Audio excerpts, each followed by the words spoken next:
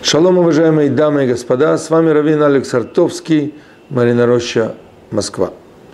Написано в Торе, что после рождения сына на восьмой день обрежьте его крайнюю плоть. В свое время римский наместник задал вопрос великому Раби Акиве, почему ваш Всевышний создал такой несовершенный мир? По идее, все творения его должны быть совершенны, и здесь кто-то рождается, его нужно сразу обрезать. Раби Акива сказал ему, когда Бог создавал мир, после каждого дня творения он говорил китов, то есть в его очах это было хорошо. Но после создания человека не было сказано слово «хорошо». И объясняют наши мудрецы, что человек был создан несовершенным. А точнее, он был создан для того, чтобы усовершенствовать весь мир – Обрезание – это символ начала человеческого пути по этому миру. Он совершенствует. Он заканчивает то, что начал Всевышний. Например, он преобразовывает природу. Он делает ее хорошей и приспособленной для человека. Обратите внимание, все, что создал Бог, мы, как люди, не можем вот так вот сразу использовать. Точнее, мы не привыкли, мы не хотим возвращаться в каменный век и, и кушать траву, и кушать плоды деревьев прямо вот так вот не преобразовывая их. Мы снимаем где-то шкурку, мы где-то преобразовываем, варим, мы готовим себе одежду, мы не ходим тряпках, в лохмотьях, в набедренных повязках, мы шьем, мы продвигаемся, мир идет вперед. Человек компаньон Бога в этом мире. Он способствует усовершенствованию и приукрашивает этот мир. И поэтому Бог выбирает Авраама и все его потомство. И до сегодняшнего дня мы, потомки Авраама, Ицхака, Якова, мы делаем обрезание. Сегодня во многих цивилизованных странах врачи советуют родителям обрезать сыновей – буквально в первые дни их рождения. В книге Таилим написано, «Ибо за тебя умирали мы каждый день». Многие мудрецы говорят, что это намек на заповедь обрезания. Когда-то в древние времена обрезаться, это было не так просто, как сегодня, это угрожало жизни ребенка. И действительно было много нехороших исходов.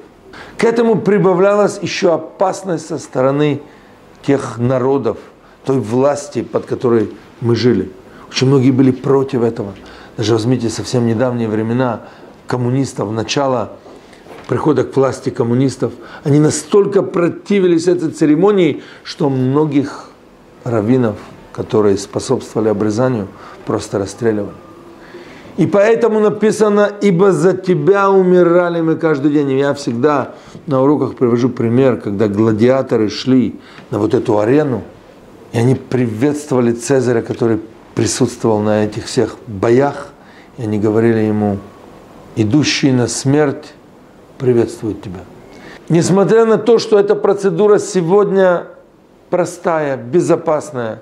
Этим занимаются специалисты высочайшего уровня, делают обрезания люди, которые проходят специальные курсы, экзамены. Мы, которые празднуем обрезание наших детей, наших внуков. Люди, которые делают обрезание уже не в возрасте детском, они испытывают чувства.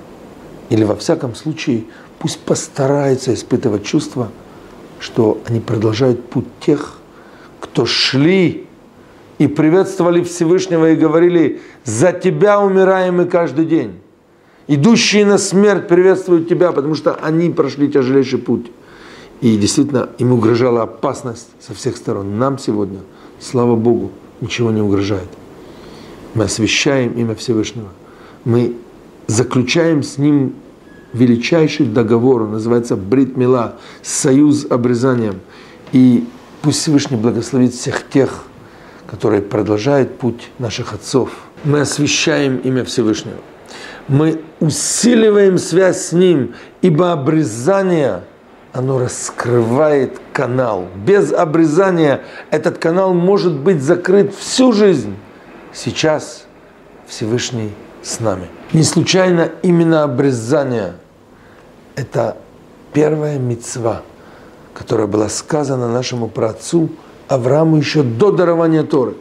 Поэтому именно обрезание является символом и началом связи с Богом, началом удачи, началом благословения. Маленький ребенок, которому 8 дней, 8 – это цифра, которая над сознанием человека. Потому что 7 – это параметр этого мира, 7 – это природа, а вот 8 – это выше природы. Поэтому человек, который приходит обрезание позже – он может начать всю свою жизнь с нового листа. Он символ этого мальчика. Он возвращается к чистоте и непорочности, когда он был еще ребенком. Это шанс. И он есть у каждого. Шалом, шалом. thank you